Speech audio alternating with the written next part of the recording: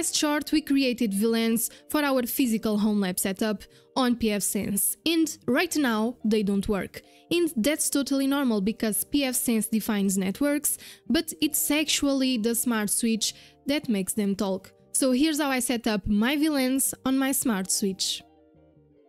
So on our switches GUI we go to VLAN and we click on 802 1Q VLAN and we enable the configuration.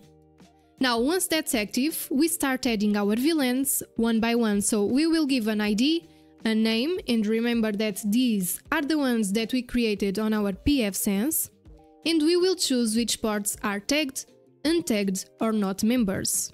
And these are my VLANs, so VLAN 10, which is the admin VLAN, will have port 1 tagged, 2 and 3 untagged, and the rest stays as not member. VLAN 20, which is Proxmox, will have port 1 tagged, 4 untagged. The rest stays as not member. VLAN 30, which is my dev VLAN, will have port 1 and 4 tagged. VLAN 40, which is my Kali VLAN, will have ports 1 and 4 tagged. Then VLAN 50, which is my storage VLAN, will have ports 1 and 4 also tagged. VLAN 60, which is my vuln VLAN, will have port 1 tagged and port 5 untagged. Now, with the rest of the ports that I didn't use on pfSense, I will create another VLAN, and the ID will be 99, the name will be unused, and ports 6, 7 and 8 will be marked as untagged, and this is just to keep them isolated.